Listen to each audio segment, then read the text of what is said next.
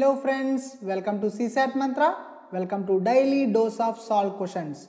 For more solve questions and concepts, please join our Telegram channel. To enroll in our course, kindly visit csatmantra.com. Both the links are given below in the description. A and B are 20 kilometers apart. A can walk at an average speed of 4 kilometers per hour, B at 6 kilometers per hour. If they start walking towards each other at 7 am, when will they meet? This problem is based on relative speed concept from time, speed and distance chapter.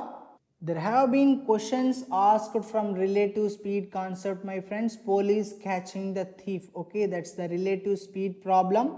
We have solved it in our lecture. Kindly go through it. Distance between A and B is 20 kilometers my friends.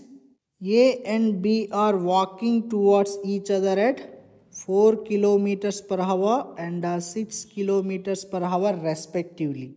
Now speed of A with respect to B will be 4 plus 6 okay that is 10 kilometers per hour.